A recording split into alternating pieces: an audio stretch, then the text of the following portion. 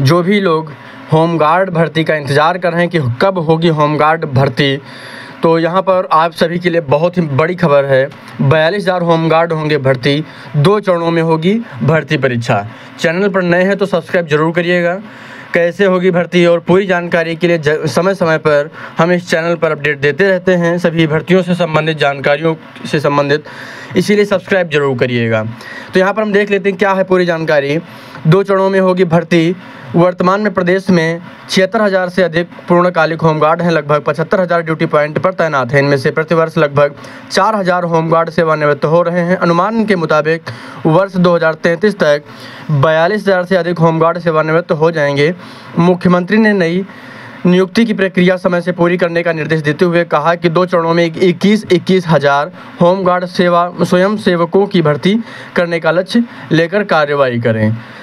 और यहाँ पर देखेंगे तो युवाओं को रोज़गार देने की मुहिम के तहत मुख्यमंत्री योगी आदित्यनाथ जी ने बयालीस हज़ार होमगार्ड की भर्ती के आदेश दिए हैं। उन्होंने हज़ारों होमगार्ड्स के सेवानिवृत्त होने के चलते भर्ती प्रक्रिया जल्द शुरू करने को कहा।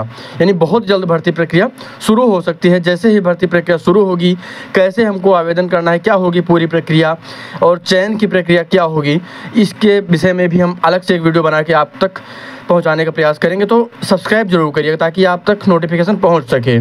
साथ ही होमगार्ड, इसके साथ ही होमगार्ड को आपदा मित्र के रूप में तैनात करने के लिए नियमावली बनाने का भी निर्देश दिया। होमगार्ड विभाग की समीक्षा के दौरान मुख्यमंत्री ने कानून, व्यवस्था और आपदा काल की स्थिति में होमगार्ड के स्वयंसेवकों की भूमिका की सराहना करते हुए कहा कि विभिन्न राज्यों में भी उत्तर प्रदेश के होमगार्ड स्वयंसेवकों ने उत्कृष्ट कार्य किया है। इसके लिए उन्हें बेहतरीन सुविधाएँ भी मिलनी चाहिए। योगी आदित्यनाथ जी ने फिटनेस के मद्देनज़र साप्ताहिक ड्रिल करने कराने को कहा। वर्तमान में सेवारत होमगार्ड्स को आपदा मित्र का प्रशिक्षण देने की व्यवस्था शुरू करने के भी निर्देश दिए हैं। यहाँ पर आप देखेंगे आपदा मित्र को प्रशिक्षण। योगी जी ने कहा कि आपदा प्रबंधन प्राधिकरण के माध्यम से तैनात आपदा मित्र के रूप में हमारे पास पहले से ही दक्ष पैर पा, मैन पावर है। हमें इनका सदुपयोग करना चाहिए। आपदा मित्रों का प्रशिक्षण करवाकर उन्हें होमगार्ड स्वयं सेवक के रूप में सेवा देने का अवसर दिया जाना चाहिए। इस संबंध में राज्य आपदा प्रबंधन प्राधिकरण से समन्वय स्थापित करते हुए विविध परामर्श प्राप्त कर नियमावली तैयार करवाएँ।